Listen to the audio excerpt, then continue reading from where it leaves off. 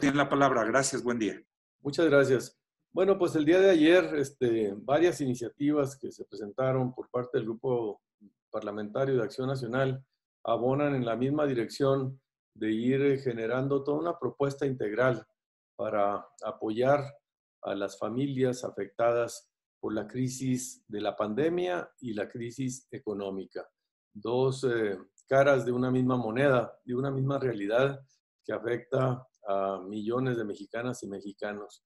Nosotros habíamos presentado eh, la semana pasada una iniciativa para deducir los consumos en los restaurantes, dado que la industria restaurantera es una de las más afectadas de, de, todos los sectores económicos y que con esta iniciativa se podía impulsar el tráfico y el consumo en estos establecimientos porque tenemos la preocupación de la gran cantidad de cierres de, de, de estos eh, negocios y la consecuente pérdida de empleos. El día de ayer también presentamos una iniciativa no para hacer deducibles los gastos educativos, no solo los gastos de las colegiaturas, eh, que esos existen ciertos montos ah, para los grados eh, de educación básica, sino incluir también la deducción total para la educación superior, la educación inicial y para todos los otros eh, útiles y accesorios que vayan a ser utilizados para el proceso educativo. Esto lo estamos haciendo porque hoy la educación será en línea y muchos eh, de los estudiantes o las familias tendrán que adquirir eh, pues equipos de, cómputo o teléfonos inteligentes o eh, acceso a, la red cuando no cuentan con ellos para poder estar al corriente y utilizar esta nueva modalidad educativa a distancia por internet y por televisión. Esta iniciativa eh, trata de evitar la gran desigualdad de acceso de oportunidades que se está generando con, eh, con esta pandemia y con estos cambios en la metodología que van a dejar más rezagados a las personas que menos recursos tienen. Por eso presentamos esta iniciativa y forma parte del conjunto de iniciativas que el grupo parlamentario ha presentado dentro del paquete la ley de emergencia económica, el ingreso básico universal y otras tantas medidas para, para poderlo hacer.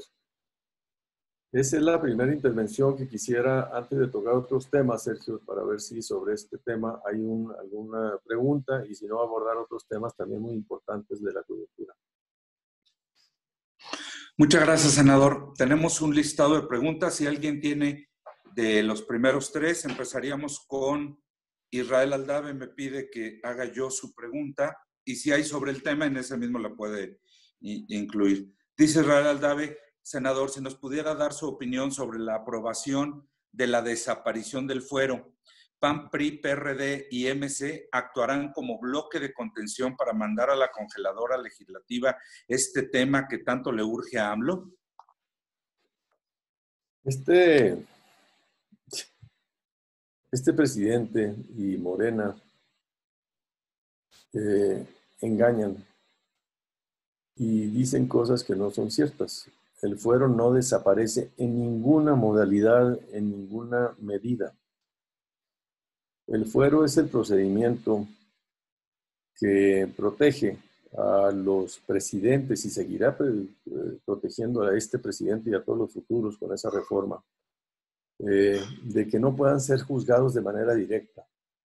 Cuando se le acuse de eh, uno o más delitos de los que están contemplados, este, lo que se tiene que ir es a la Cámara de Diputados a ver si la Cámara de Diputados eh, admite ese recurso por mayoría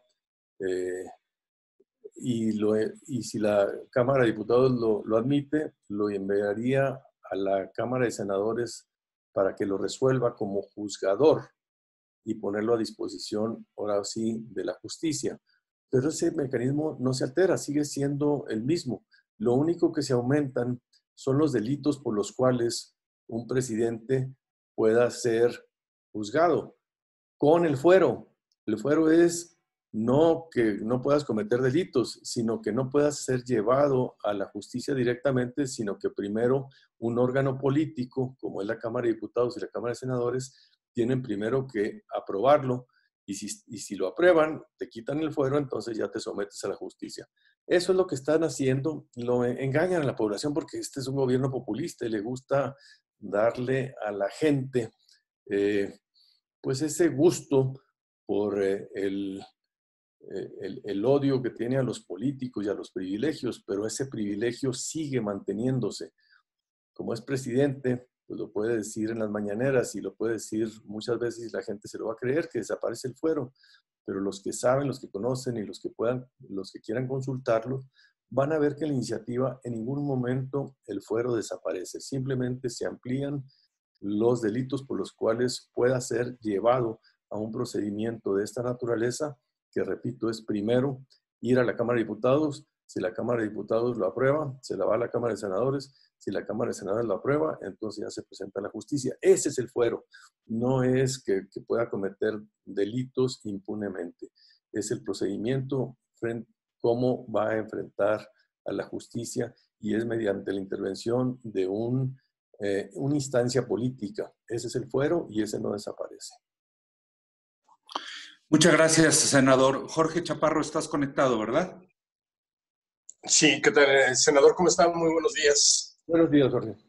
Eh, yo quisiera preguntarle, eh, esta propuesta que está usted haciendo de, de eh, pues, hacer deducibles las colegiaturas, sobre todo, la OCDE alerta sobre la caída en los ingresos fiscales de los gobiernos en casi todo el mundo.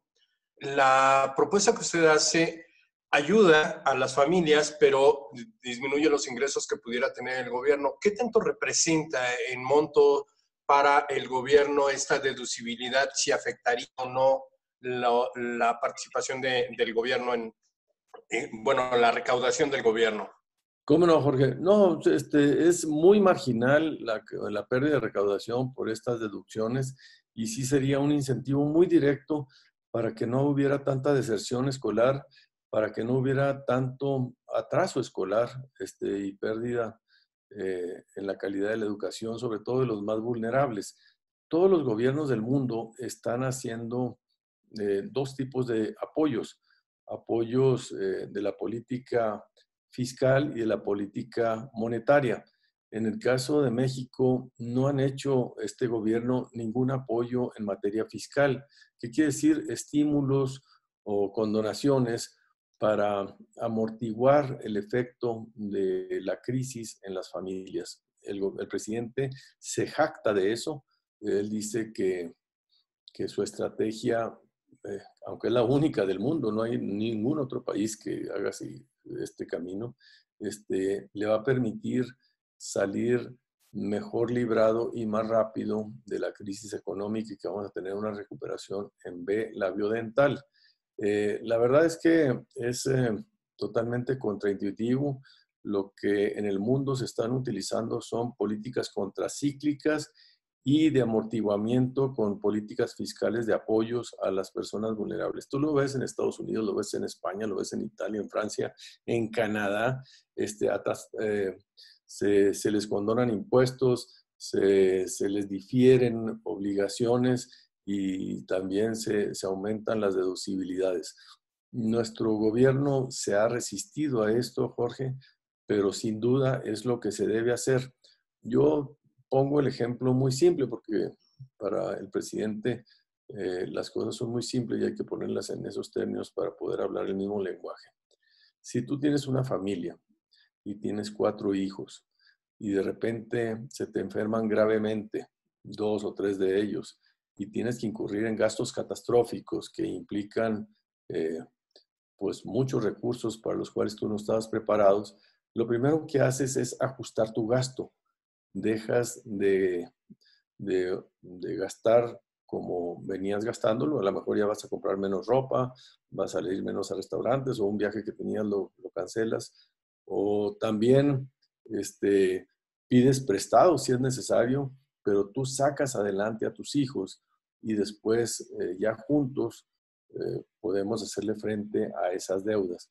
Este presidente no está haciendo ni lo uno ni lo otro, ni está reacomodando el gasto, ¿qué quiere decir? No está dejando sus mismas prioridades, es el mismo presupuesto como si no hubiera habido pandemia y la mayor crisis económica de la historia, sigue el mismo presupuesto inercial y esto no lo hubieras hecho tú como padre de familia y tampoco está pidiendo prestado para darle apoyos para poder amortiguar la enfermedad y los gastos catastróficos. Eso es lo que está haciendo todo el mundo. El, eh, impacto fiscal por estos conceptos son, son mínimos, no son ni décimas de un punto porcentual del PIB, eh, pero sí llegarían directamente a las familias que más lo necesitan, que son las personas vulnerables eh, que tienen menos recursos y que van a ser las más afectadas con esta pandemia, con la crisis de ingresos y con el nuevo modelo educativo, porque los va a dejar más rezagados y va a aumentar mucho más la desigualdad. Tienes otra pregunta, ¿verdad? Si me lo permite, perdón, Sergio, eh, le quisiera hacer una última pregunta y tiene que ver con la nominación de Rafael Espino a la gubernatura de Chihuahua. Están eh, diciendo que va a ser el candidato de Morena y muy seguramente se lo encontrará usted en el camino de las boletas allá en, en Chihuahua. Preguntarle qué sensación le provoca, le, da este, cosita o, le tiene sin cuidado. yo, voté contra él, eh, eh, yo voté en su contra cuando lo nominaron como consejero independiente. Es, es suplente del senador Cruz Pérez Cuellar, él es senador suplente. Este, y sí, lo quieren meter con calzador, una persona este, como candidato de Morena, haciendo a un lado los que ya se habían ah, avanzado, aventajado en estas propuestas. Coincido contigo porque hoy se habla, eh, por ejemplo, de una maniobra para meter a, Espino en la lucha de los agricultores por el agua. Eh, como tú sabes, el gobierno federal abrió las compuertas para quitarles el agua de los agricultores y entregarlas al Tratado Internacional de Aguas, este, y hubo mucha molestia. Fue el gobierno de Morena el que lo hizo, y tanto los diputados, alcaldes y el propio gobernador del PAN, eh, pues acompañamos y protestamos sobre esto. Hoy el, gobierno está queriendo eh, poner a Espino eh, como darle los créditos de la solución que pueda salir e improvisarlo como un defensor de los agricultores cuando ha estado ausente durante todo este tiempo. Sí, me veo esta maniobra, eh, desplaza de los créditos de los verdaderos luchadores del agua, en este caso el propio Víctor Quintana, que es de Morena, por decirte algo, pues lo hacen un lado y le dan los créditos al propio eh, Rafael Espino. Son maniobras, eh, el presidente que nos criticaba de hacer politiquería con el caso del agua, lo está haciendo ahora él y Morena, este, pero pues eh, son sus maniobras de improvisar candidatos cuando pues están en un reto muy difícil en Chihuahua porque seguramente ahí será de los estados donde tendrán derrotas estrepitosas. Muchas gracias, senador. Nos, eh, perdón, Israel Aldave nos eh, me comenta, igual que Rubén Arismendi, que faltó, si pudiera responder a si actuaríamos como, si actuarían como bloque para claro que, no. claro que no. A ver, es que esto ya se aprobó en el Senado, se fue a diputados, va a regresar al Senado y vamos a votar igual, vamos a votar a favor. Lo que no estamos queriendo y pedimos que nos ayuden a explicar es que esto es una vacilada, que no hay ningún cambio en el fuero. El fuero es el que primero, antes de enfrentar la justicia, este, tengas que pasar por un órgano político. Ese es el que te protege, el órgano político. Y el presidente de la República, Andrés Manuel López Obrador, si comete un delito, primero tiene que, tendrá que ser juzgado por la Cámara de Diputados y por la Cámara de Senadores. Y eso no se lo va a cambiar y eso no está cambiando la iniciativa. Vamos a votar a favor. En el mismo sentido, senador Yadira Rodríguez pregunta eh, si aceptaríamos discutir inclusive dar los votos, ya usted lo, respondió, este, a cambio de que, de que Morena se comprometiera a aprobar el ingreso básico universal. Claro, claro, que me den el ingreso básico universal, órale. Juega. Eh. Y Karina Aguilar nos le pregunta su opinión sobre las críticas de López Obrador a la autoridad electoral luego de que el tribunal rechazara bajar las conferencias en los estados donde habrá elecciones. Este es de los golpes más deprimentes que he recibido en las últimas semanas y meses.